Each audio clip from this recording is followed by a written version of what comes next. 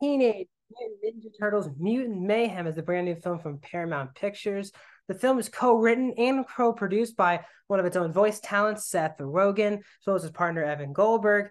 The film is directed by Jeff Rowe, who's coming off directing Oscar-nominated film from a year or two ago from Netflix, The Mitchells versus the Machines. This one, of course, is about the Teenage Mutant Ninja Turtles, Donatello, Michelangelo, Leonardo, and Raphael finally being voiced by actual teenagers in its over 30 year franchise. Uh, Nicholas Cantu voices Leonardo, Brady Noon voices Raphael, Sh- Shamon Brown Jr. voices Michelangelo, and Micah Abbey voices Donatello.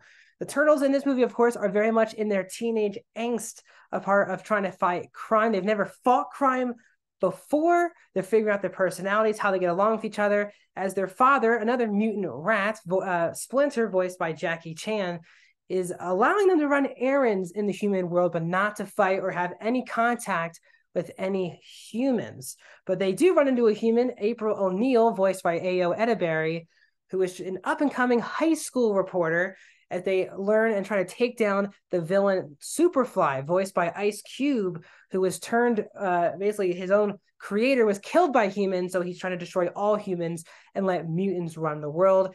He's a part of an all mutant team uh, that is trying to do this. Uh, John Cena voices Rocksteady. Bebop is voiced by Seth Rogen. Leatherhead voiced by Rose Byrne. Um, or and Paul Rudd as Mondo Gecko and Ray Fillet voiced by Post Malone are among those group. The film is an hour and 39 minutes and is PG. Welcome back to a brand new movie review here on Max Talks Movies today. We're talking Teenage Mutant Ninja Turtles Mutant Mayhem if you're new to the channel, so please subscribe, ring the bell. I do these movie reviews, TV show reviews, movie rankings, and uh, every Monday my box office breakdown show. So please subscribe, ring the bell if you're new to the channel. Comment down below. Are you a big fan of this franchise? What is your ranking of Teenage Mutant Ninja Turtle uh, franchise ranking? Is this, is this your first time seeing them? If it is, what are your thoughts on it? If you've not seen it, tell me. Are you just not interested in giving this franchise another shot?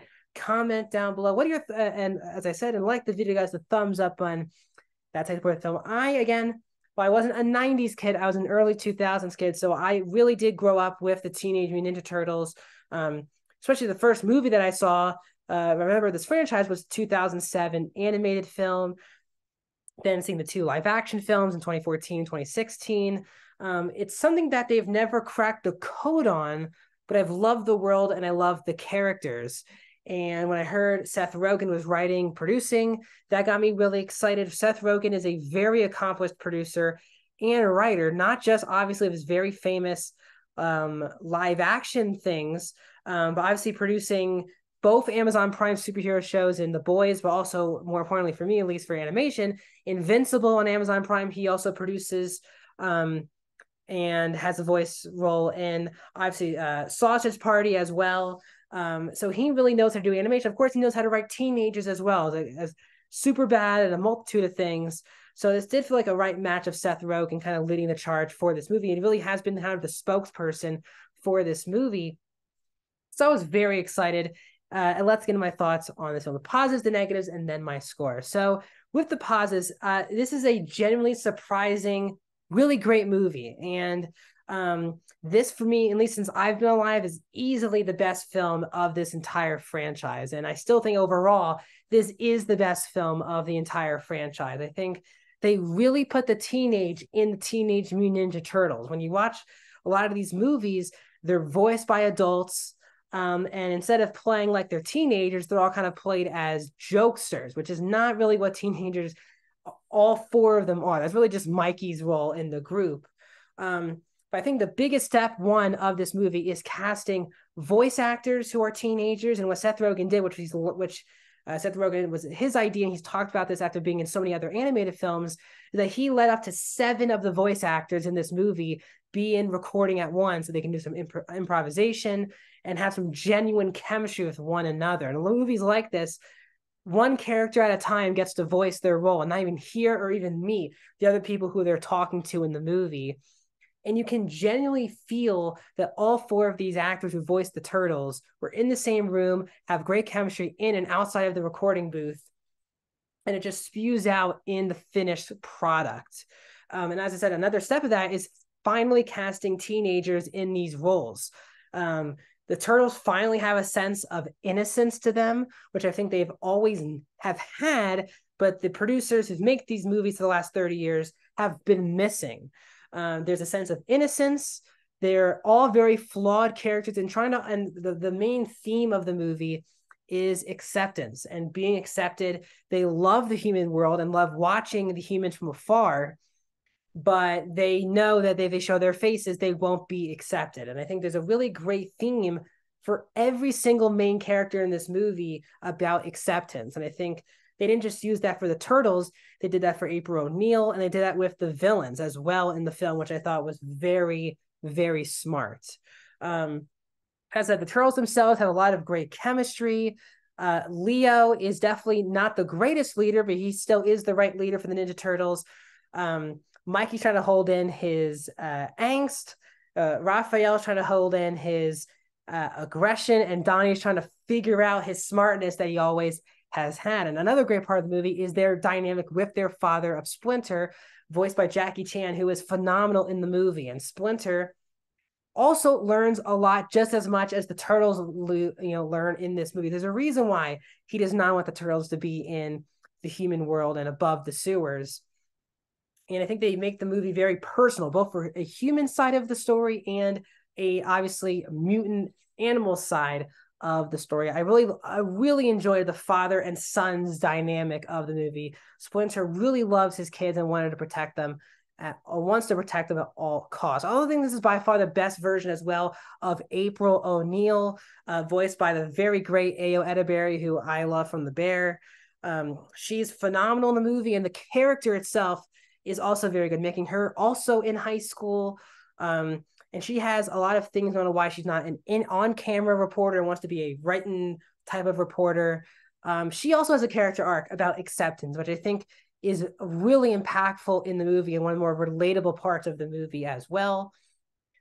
Also, the villain, or I guess the, the, the ultimate villain, Superfly, voiced by Ice Cube, is also a very interesting villain.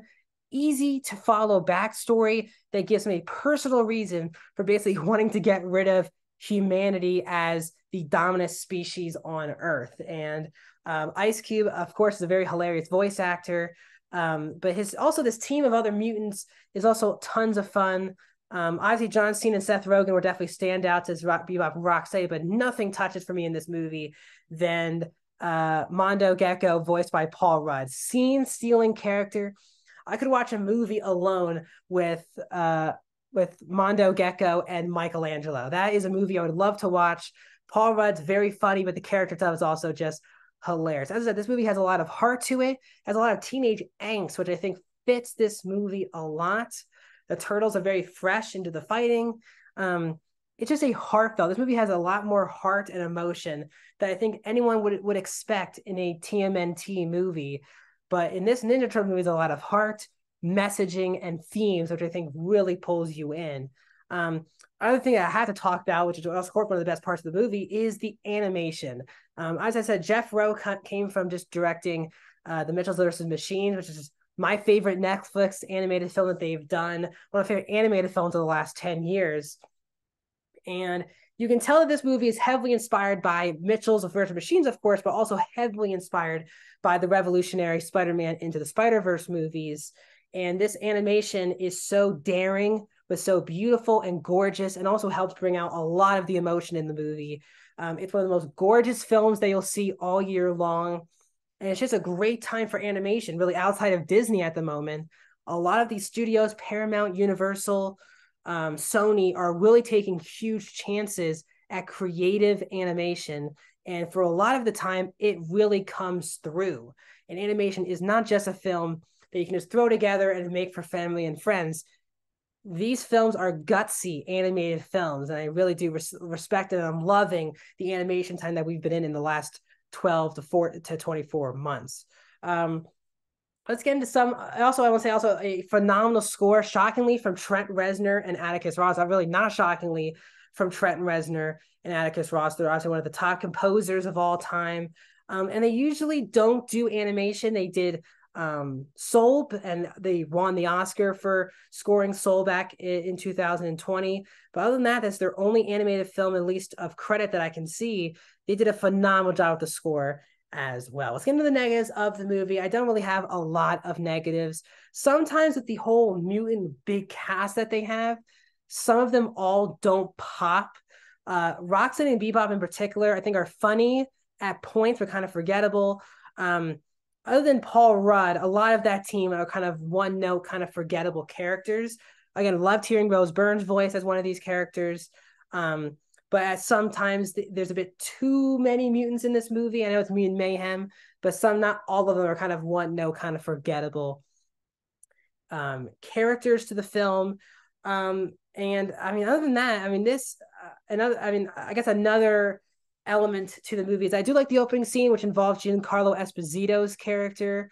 Um, but I would have liked a little more backstory on who that character is before we got that opening scene. But overall, guys, this is a phenomenal film for me. I I love this movie. I can't wait to rewatch this multiple times. So happy they already announced a sequel to this movie. I do want also let you know there's also a mid credit scene, not a end credit scene, but a mid credit scene that you guys will want to stay in for. So uh, overall, a great film, my favorite film of this entire franchise. I think Seth Rogen and his team have put together uh, finally a rejuvenation to a franchise that has kind of felt dead due to the people who've been making these movies for so long. They finally found the right people behind the screen to make this movie, and the voice cast is so phenomenal. I cannot wait to be in this world more often. Uh, I'm going to give TMNT, Teenage Mutant Ninja Turtles, Mutant Mayhem, a 4.5 out of 5. I'm going to go 88%. I, I love this movie. It's a phenomenal film. Let me know your thoughts in the comment section down below. I'll see you guys soon.